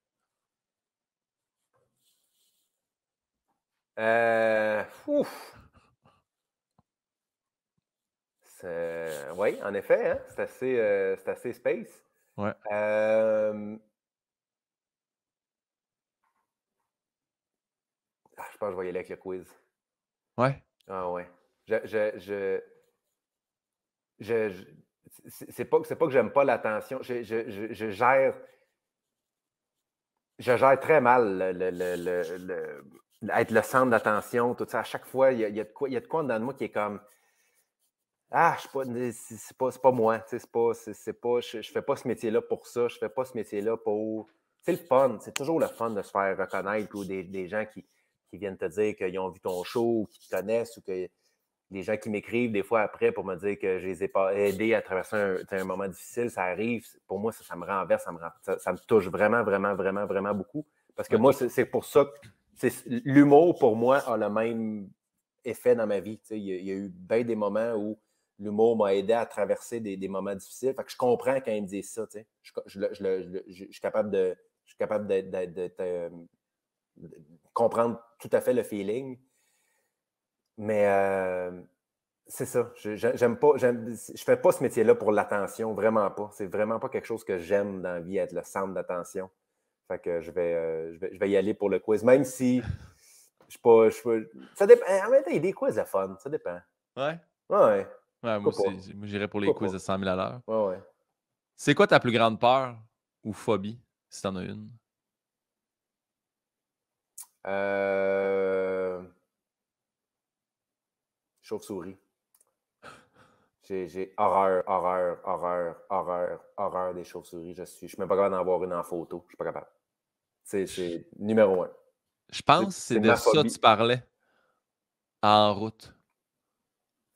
Euh, possible. C'est possible que j'avais. Je me rappelle que j'avais un numéro là-dessus dans le temps. Fait que ça se peut, ça peut très bien que ce soit euh, que ça a été dans, dans la route. Ouais, tu prends un rat, tu y mets des ailes, tu mets dans le micro-ondes 15-20 euh, secondes, ça donne une chauve-souris. C'était ça le gag. Puis ça part d'où cette phobie-là? T'as-tu un... Aucune idée. Aucune idée. je, je, sais qu'elle a été elle a été nourrie à travers certains, euh, certains euh, moments dans le bois euh, ou dans des camps de jour la nuit où à un moment donné, il y a une chauve-souris qui était rentrée dans notre cabane. J'étais dans un camp, de, un camp de vacances, puis il y avait une chauve-souris dans la cabane. Mais j'avais déjà très, très, très, très peur. Je ne sais pas. Je sais pas d'où ça me vient. Je ne suis pas capable. Pas fan de Batman. Ça ne m'a jamais dérangé, mais il y a les scènes des fois où, où tu vois une chauve-souris, là, ça, je ne suis pas capable. Je suis pas capable. Incapable. Qu'est-ce que tu souhaiterais pas, Simon, à ton pire ennemi? Oh, d'être tout seul. Ouais. C'est le show de la solitude, c'est euh, une des choses les plus très surtout en temps, pendant les, deux dernières années, ça a été encore plus flagrant. Là. Moi, j'ai beaucoup, beaucoup, beaucoup, beaucoup d'empathie pour ça. Les gens seuls, les gens qui ont personne, là, ça me, ça, me touche énormément. Fait que je, souhaite à personne d'être seul. Personne, même mon père ennemi. Simon, c'est quoi le bonheur parfait pour toi? Oh, le bonheur parfait pour moi, c'est de un jeudi après-midi euh, de pouvoir euh, faire un podcast avec euh, un collègue humoriste et ne pas avoir à stresser pour rien d'autre, juste faire ce que j'aime dans la vie. De ma fille, tantôt, qui va revenir de prendre une marche avec sa grand-mère et de ce soir aller faire un show. C'est ça le bonheur parfait. Je suis exactement où je veux être dans ma vie. Puis c'est ça. Il est, euh, il est, une heure, il est une heure et demie un jeudi après-midi, puis je jase d'humour avec un ami. C'est ça. T'es fin. T'es fin. C'est ça, le bonheur parfait. Ça a été quoi, selon toi, ta plus grande épreuve à ce jour? Dans ma vie? Ouais. Euh... La plus grande épreuve dans ma vie. Euh... Ben, il n'y a, a, pas vraiment de moment comme tel. Euh, quand j'ai décidé euh, pour de bon d'essayer de, de, vivre avec mon anxiété, ça a été, ça a été difficile parce que euh, quand j'ai. Quand, moi, dans, ma vie, moi, les troubles anxieux dans ma vie ont commencé plus fin vingtaine, je dirais début trentaine. Euh, puis à un moment donné, j'avais comme accepté que c'était ça. J'avais accepté que moi, je n'étais pas heureux, que je ne savais pas comment être heureux, euh, que la vie n'était pas belle, mais que c'était correct. C'était pas. Euh, moi, j'ai jamais été suicidaire ou, ou dépressif. J'étais juste neutre. J'étais juste comme ben, c'est ça. OK. Il y a un début, tu vis, tu rencontres du monde, tu manges, tu vas au resto, puis tu meurs, puis c'est correct. C'est comme ça. Il n'y a, a rien de plus. Euh, je ne mérite pas rien de plus, rien. Fait quand j'ai décidé de voir s'il n'y avait pas autre chose, ce qui, ce qui me stressait beaucoup, c'est à coup, ça ne marche pas. À coup, c'est vraiment juste ça. À coup, je ne suis pas capable d'être heureux. À coup, que ça n'existe pas le bonheur. Fait ça, ça a été autant aujourd'hui, je suis vraiment extrêmement, évidemment, content d'avoir fait cette démarche-là pour aujourd'hui être, être où j'en suis dans ma vie. Ouais. Euh, c'est un moment-là où j'ai commencé à, vraiment, vraiment essayer de trouver un moyen de vivre avec mon anxiété ou de, le contourner ou de. J'ai dit d'en guérir. Tu ne guéris pas. Selon moi, tu ne peux pas guérir de l'anxiété. Tu peux juste apprendre à vivre avec. Euh, ça, a été, ça a été une période, ça, je me rappelle, euh, difficile. Parce que j'avais peur que ça ne fonctionne pas. Je me dis, si ça ne fonctionne pas, je suis dans le trouble en sacrifice. Puis est-ce que tu as des. T'en parles-tu avec des, mettons, parce que c'est le fun, on en, on en jase là, t'en parles-tu mm-hmm. avec des collègues, parce que surtout au milieu de l'humour, ça, ça, grouille de monde anxieux, là, t'as-tu... Tu, Ouais, ben, tu sais, j'en parle... Euh, je vais, je vais rarement en parler, ça, ça, va rarement être mon initiative d'en parler, parce que il y a un petit côté de moi qui veut pas. Euh, qui veut pas. Moi, je me définis pas par mes troubles anxieux. Ça fait partie de moi, mais je pense pas que c'est. Je pense pas que c'est. Plus maintenant, en tout cas, ce n'est plus euh, le point focus, moi, de, ma vie. Donc, euh, puis je veux pas de pitié, je veux pas rien. Mais quand je vois que quelqu'un, quand, je vois quelqu'un qui vit ce que je vis ou qui vit ce que j'ai vécu, j'essaie, j'essaie d'en parler le plus possible. Puis j'essaie d'en parler surtout parce que je, me. Moi, des, images sur l'anxiété ou des analogies sur l'anxiété, j'en ai entendu des centaines et des milliers dans ma vie. Mais j'ai rencontré une fois un, un, psychologue qui se spécialise en troubles anxieux qui a vraiment mis les bons mots sur ce que je ressens, qui a vraiment mis les bons mots sur ce que je vivais. Puis moi, ça m'a beaucoup aidé. Fait moi, j'essaie de faire ça des fois. Je, je, sais que je peux parler à des gens euh, qui ont des troubles anxieux puis qui n'ont entendu 14, 20, 20 théories de fais attention à ci, fais attention à ça, ou que, pourquoi ci, pourquoi ça. Puis peut-être que moi, la façon que moi j'extériorise mon anxiété, ça les aide à peut-être voir leur anxiété différemment, puis de la voir moins grosse qu'elle est. Fait que j'essaie, le plus possible de, faire ça. Mais, euh, fait que oui, c'est ça. Moi, bref, j'ai un, souvenir assez précis de nous deux dans une loge au, euh, Voyons, à l'Abreuvoir. À Montréal. Non, non, mais c'est, je m'avais dit le lobby, mais c'était à l'Abreuvoir. je, viens de me séparer, puis je, c'est toi qui es là, puis jamais je me disais, j'ai juste fait, je t'avais dit, je pense que je ne serai plus jamais capable d'écrire du mot. non, ça, ça va. Là, tu es dans une passe, joue ce que tu connais, puis maintenant, ça va débloquer. C'est mm-hmm. normal, ça vient d'arriver. Je me rappelle juste ça, faire. Simon, Simon s'est déjà séparé, Simon a déjà continué à écrire de l'humour. Ça se fait. Ce bout-là, ça a été le, le, début de OK, je pense ça va, ça va être correct. C'est tough, mais je vais. Ben moi, ça, c'est une affaire que moi, encore aujourd'hui, il faut que je me répète très souvent, puis que j'essaie de plus souvent possible quand je vois quelqu'un dans cette situation-là, c'est des fois, quand, tu es anxieux, quand, tu fais de l'anxiété, quand tu es en dépression, quoi que ce soit, plein, plein que ce soit une mauvaise passe de ta vie, à un moment donné, tu fais OK, là, en ce moment, mon état d'esprit n'est pas moi. C'est pas moi. Il faut pas. C'est tough faire ça, C'est tough de, de, dire en ce moment, en ce moment, c'est pas normal. En ce moment, c'est pas. Fait que fie-toi pas sur comment tu te fies en ce moment, ça va être mieux. Ouais. Euh, moi, ça, c'est quelque chose que je me répète souvent dans ma vie. Fait que, je pense, je, tu, me dirais ça aujourd'hui, ce que tu m'as dit à ce moment. Je ne me rappelle pas de cet événement-là, mais c'est le genre d'affaire que, oui, en effet, je dis aux gens en disant Regarde, vis le moment en ce moment, là, mais prends aucune décision là, là parce que tu n'as. En ce moment, c'est pas Guillaume. En ce moment, c'est Guillaume sous le choc. Là. Fait vis-les, Guillaume sous le choc, mais ça ne te donne rien d'essayer de penser à des affaires ou de prévoir des affaires. Fait que voilà. Exactement. Simon, te souviens-tu d'un fou rire en particulier ou de ton dernier fou rire? Euh... Ah ben, en fait, mon dernier fou rire, c'est sûr que c'est avec ma blonde. Parce que moi, ce, qu'on. Moi, ma blonde, Myriam, c'est ma meilleure amie. C'est la, personne la plus importante dans ma vie. Puis, euh, une des choses qu'on aime beaucoup faire ensemble, c'est regarder. on a des émissions qu'on regarde. Il y a des émissions qu'on regarde parce que je sais que je vais juste la faire rire tout le long qu'on l'écoute. Je vais passer des commentaires sur des affaires. Je, oui, en fait, oui, je me rappelle. La dernière, on écoutait, on écoutait un souper presque parfait. Puis, euh, c'est genre, c'est ça, tu sais, je trouve que c'est vraiment une bonne émission, mais c'est, on l'écoute ensemble pour les commentaires que je passe pendant l'émission. Ouais. Puis, il y a un gars, Monique, qui est arrivé avec. C'est une espèce de chandail V-neck, mais vraiment comme trop V-neck. il était comme turquoise, weird. Il était vraiment laid comme chandail. Puis en écoutant, j'ai juste dit si la diarrhée pouvait s'habiller, elle se mettrait ce t-shirt-là. Puis on a ri, je pense, pendant comme 15 minutes. je pense que c'est notre dernier fou rire, notre vrai, de vrai gros fou rire. Là. Ouais.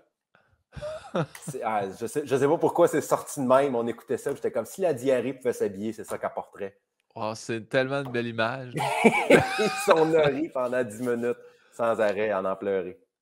Simon, la, la prochaine question, je l'ai volée à RuPaul's Drag Race. C'est RuPaul qui demande ça en finale. Si tu avais la chance de rencontrer le jeune Simon, tu mm-hmm. dirais quoi? Ça va bien aller. Mettrais-tu ah l'arc-en-ciel? Non, non, non, juste. non, mais euh, je, dirais, euh, fais-toi confiance. Ça va bien aller. Fais-toi confiance. Parce que le, jeune Simon, il était perdu en sacrifice, puis il ne savait pas ce qu'il voulait. Il savait ce que les autres voulaient de lui, mais il ne savait pas ce que lui voulait. Fait que je dirais ça. Fais-toi confiance. Fais-toi confiance. Simon, ça a été quoi ta découverte de l'année? Là, je dis l'année, mais ça peut être les 365 derniers jours, vu qu'on est en début 2022. Y a-tu quelqu'un, quelque chose que tu as découvert? Tu fais, faut que les gens connaissent ça. Euh, ben, il y a beaucoup d'humoristes. Dans la dernière année, c'est quel humoriste que j'ai vraiment découvert? Euh, je ne peux pas dire que c'est vraiment dans la dernière année, mais moi, il y a un humoriste que j'ai découvert il n'y a pas très longtemps qui s'appelle Nate Bargatze, que j'aime énormément. Je trouve qu'il est vraiment bon. Euh, mais ma découverte, je te dirais que c'est Succession, la série Succession. Ah. je pense c'est la première. Quand, j'ai écouté Breaking Bad, j'ai dit c'est la première série qui m'a fait autant triper depuis The Wire. Quand j'avais écouté The Wire, j'avais dit c'est la première série qui me fait autant triper que Six Feet Under. Puis là, en ce moment, Succession, c'est la première série qui me fait triper autant que Breaking Bad. Je pense que c'est. C'est ah, les gens, les gens, ma blonde capote là-dessus. J'ai pas. C'est extraordinaire. Ouais. je vais essayer, de faire le grand pas parce que j'ai écouté un peu avec elle. J'étais comme. Eh. C'est dense. C'est dense quand même. C'est dense, mais c'est que. La, la, écoute, il faut que je m'informe sur qui fait la réalisation de ça, là, mais c'est. La, la, réalisation est parfaite avec le texte, qui est parfait pour les acteurs, qui c'est vraiment, là, c'est vraiment, vraiment bien fait. Vraiment. Je, pense, pense pas que tu vas capoter autant que Succession, mais je te dis, Dope Sick. Il y a ben, aussi, écoute, il y a aussi, ça à soir. C'est que je commence à soir, mon gars. Il y a une portion de succession de les, les, les plus vieux qui ont la compagnie pharmaceutique qui donne mm-hmm. ça aux plus jeunes, puis là, ils se battent à savoir qui va être le président. C'est pas plate. Alors, je ah, Sinon, ma, autre découverte de l'année, j'ai acheté des. Euh, j'ai acheté des attaches-fils sur Amazon en velcro là, oui. pour attacher tous mes fils. Là. Je peux plus. ma, blonde est tannée. Des fois, là, dès, qu'il y a un fil qui traîne, là, là, elle va me voir dans le tiroir chercher mes attaches-fils. Là, je les attache. Fait comme, mais là, t'es trop serré, t'es trop petit. Fait que ça, mes attaches-fils, c'est bien important. C'est bien important dans ma vie en ce moment. J'invite les gens à aller se procurer ça. On est rendu à l'avant-dernière question. Euh, en fait, je demande toujours à, mon invité de poser une question à mon prochain invité. Et la question de mon dernier invité était Pierre-Luc Funk. Et sa question est bonne. Je, la mets, tu pourras la lire. Euh, Simon, depuis que tu es rendu sur Instagram, sens-tu que tu es moins puriste au niveau du stand-up? Dans le ah, sens que. C'est vraiment une bonne question. Tu comprends, parfait. Parce qu'il fait. Je sais que Simon, c'est très, très. C'est comme justement, tantôt, tu expliquais, Mylène était comme. Fais que de l'humour, fais, vas-y comme ça, je sais que ça peut fonctionner. Mais le fait que tu aies ouvert Instagram, sens-tu que c'est. Non. Non, parce que moi, moi, je suis incapable de faire des choses qui ne me tentent pas dans la vie. Je ne suis pas capable. J'ai un blocage à ça. Puis une, une, autre force de Mylène, c'est de, dire Bon, mais regarde, qu'est-ce que tu as envie de faire? sur Instagram, moi, personnellement, je, suis personne sur Instagram. Ce n'est pas, pas une plateforme que j'apprécie. C'est pas dit les, les, les, gens, les gens aiment ça, les gens, je pense que tu peux faire quelque chose d'intéressant. Puis je disais toujours, tu sais, moi, ça ne m'intéresse pas montrer ce que je fais. Je ne vois pas pourquoi ça intéresse les gens. Puis elle m'a dit, elle m'a dit, et si tu, si tu te servais d'Instagram pour toi, comme ton journal de tournée, de toi pouvoir, dans deux ans, regarder t'étais où, telle date, puis reprendre, puis te créer toi-même des souvenirs, puis j'ai fait, là, là, tu me parles. Là, là, tu viens de trouver la clé. Fait mon Instagram, je le gère comme mon journal de tournée. Je le gère pour, je le vois comme ma façon de moi me rappeler tous ces moments-là que j'ai traversés au cours des dernières années, les différentes salles, euh, les différents moments. Euh, puis si en plus ça peut intéresser les gens, tant mieux. Fait que non, pas du tout, parce que je, le fais vraiment par plaisir. Je le fais vraiment pour. Euh, tu sais, comme on a pris. La dernière photo que j'ai mise sur Instagram, c'est justement moi à ma, à, ma première lecture de mon troisième show. Puis je sais que je vais regarder cette photo-là dans deux ans, trois ans, quatre ans, faisant comme Ah oui, tel soir, hey, ça, ça, c'est le soir qui est arrivé telle, telle, telle, telle, telle affaire. Fait que c'est ça, tu sais, moi, quand, quand, quand, je réussis à trouver, euh, c'est la même chose pour mon infolette. Tu sais, moi, j'envoie une infolette euh, aux membres de mon fan club une fois par mois, puis euh, y a, ça fait longtemps que ça fait longtemps que, que, que ma prod ou que ou que Mylène me dit Hey, tu profites-en, euh, écris aux gens qui te suivent, qui sont inscrits à ton infolette. À chaque fois, j'étais comme J'ai ça, moi, Hey, je suis en show à telle place. Hey, ne manquez pas mon passage à telle émission. Je suis comme On, s'en fout, c'est pas important. Ouais. Puis à un moment donné, euh, j'ai décidé, j'ai dit Sais-tu quoi, ce que je vais faire, c'est qu'une fois par mois, je vais écrire une lettre aux gens qui sont inscrits à mon infolette. Donc, une fois par mois, c'est ça que je fais. C'est juste une lettre qui, qui est sur un sujet quelconque. C'est juste pour les faire rire, pour leur faire passer un petit 10 minutes s'ils sont dans le métro et ils veulent lire un texte pendant 10 minutes.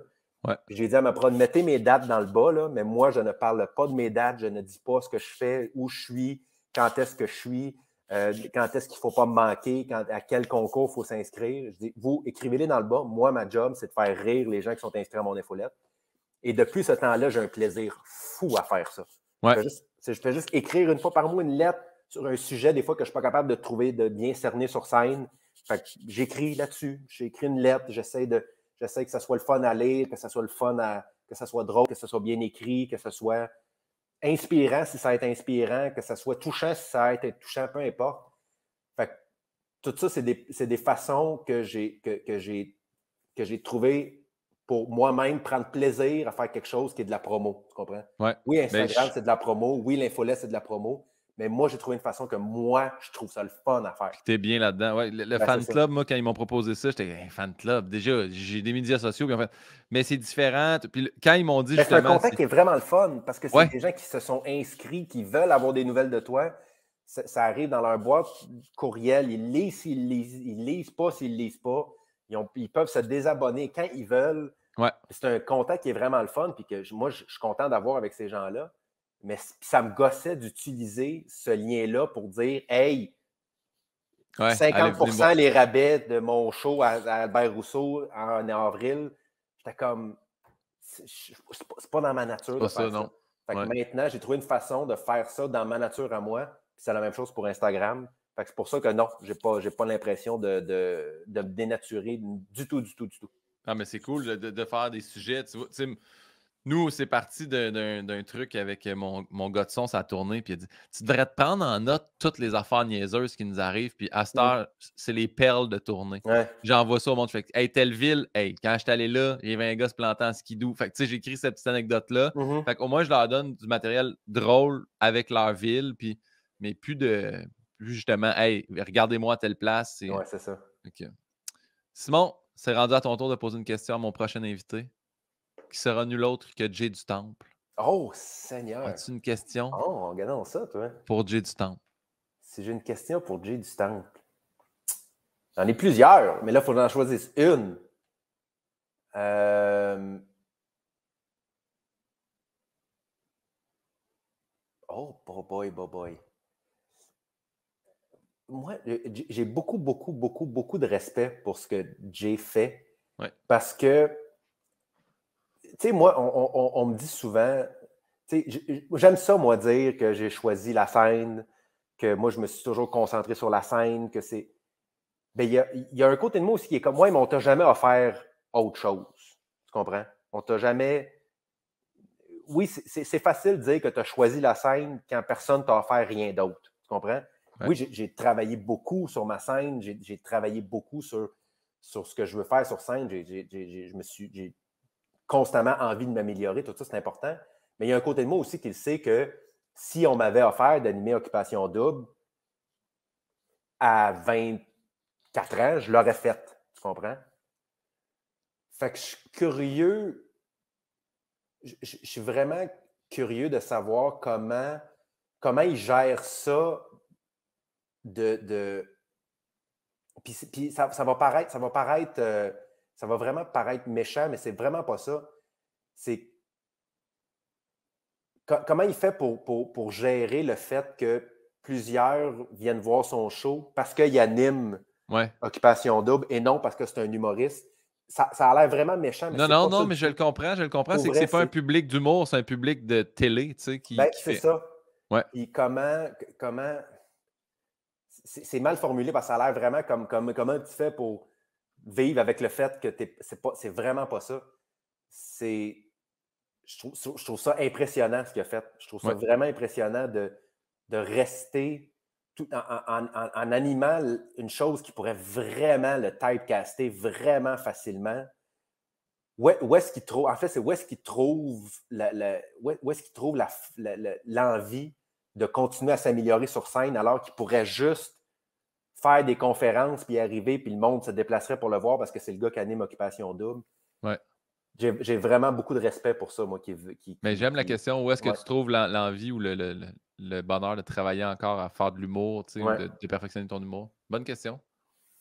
Simon, on a terminé? Ah ouais? Rendu au bout. En fait, je termine avec la dernière chose, chose que tu aimes le moins faire au monde, mais as-tu des choses que tu aimerais plugger en terminant? Euh, ben, euh, écoute, euh, vite de même, il me reste quelques mois de tournée de mon deuxième one-man show. C'est comme la dernière ronde que je fais dans les villes.